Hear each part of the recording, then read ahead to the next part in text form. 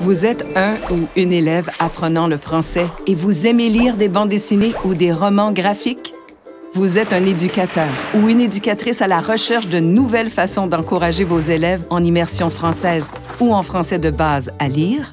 Vous voulez aider d'autres enfants à aller à l'école en toute sécurité, à avoir un impact positif dans le monde?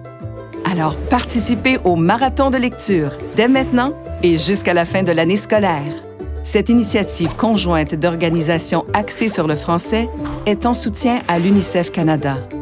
Il y a trois objectifs principaux.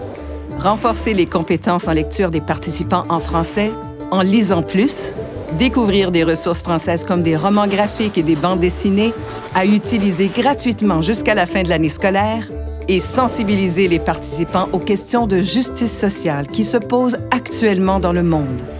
En participant au marathon de lecture, les élèves et leurs familles auront la possibilité de collecter des fonds pour aider les enfants du Burkina Faso à accéder à l'éducation et à retourner à l'école en toute sécurité.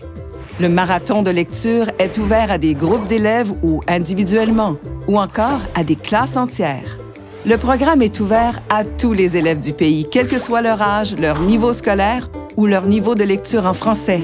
Les élèves et les enseignants et enseignantes participants ont accès gratuitement à des romans graphiques, des bandes dessinées et des fiches de travail en français sur culturetech.com, une impressionnante bibliothèque numérique.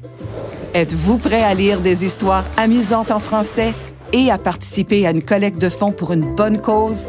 Alors, cliquez sur le lien ci-bas pour savoir comment vous pouvez commencer dès aujourd'hui. Bonne lecture!